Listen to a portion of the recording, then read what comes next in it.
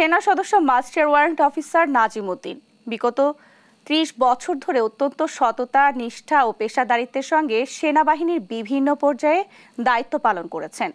সদ্য পদোন্নতি পাওয়া সেনা সদস্য নাজিম উদ্দিনের প্রশংসা গ্রাম জুড়ে। ছুটিতে বাড়ি আসলেই স্বজন ও প্রতিবেশীদের খোঁজ খবর রাখতেন তিনি। হঠাৎ তার এমন মৃত্যু কেউই মেনে নিতে পারছেন না। বান্দরবানের রোয়াংছড়ির পাহাড়ি অঞ্চলে কুকিচিন ন্যাশনাল আর্মি কেএনএফ নামের একটি সশস্ত্র পাহাড়ি সন্ত্রাসী দল সেনার সদস্যদের উপর অতর্কিত হামলা চালায়। সেখানেই গুলিবিদ্ধ হয়ে মারা যান নাজিমুদ্দিন। সেনা সদস্যের গ্রামের বাড়িতে চলছে শোকের মাতম।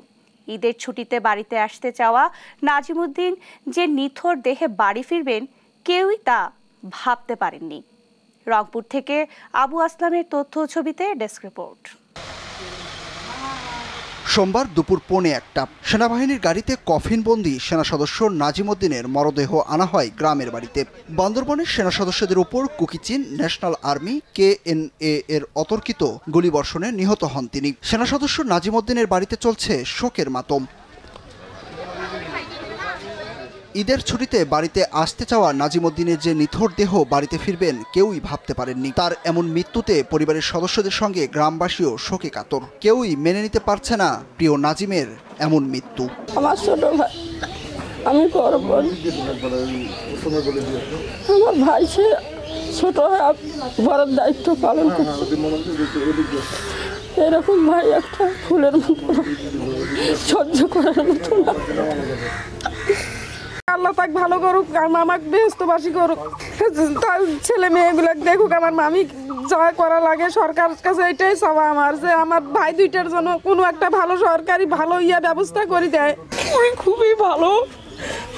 ওটার জন্য সবাই যাচ্ছে। আমাদের চাষা হয় আমরা ওনাকে ওনাকে খুবই ওনাকে আমরা মিস করব। তো সৈনিক হিসাবে সে খুব ভালো মনের মানুষ এবং ভালো সৈনিক ছিল।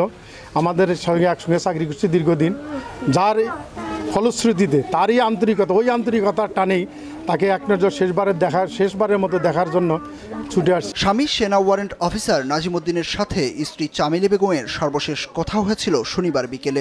রোববার বিকেলে আসে স্বামীর মৃত্যুর খবর। চামেলির সবকিছু যেন তছনছ হয়ে গেছে।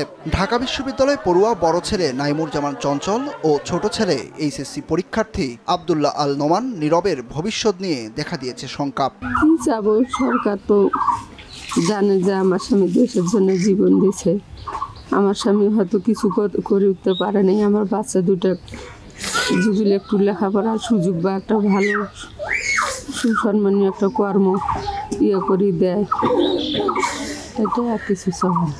আসলে আমাকে আমি যখন ঢাকায় ছিলাম আমাকে বলা হয় নাই মানে যদি আমি টেনশন করি এই জন্য আমার শুধু আসতে বলা হইতেছিল। আমি হলো পরে প্লেনে আসার পর বাসায় আসার পর জানতে পারি আর জানার পর জানার পর তো বুঝে নেই।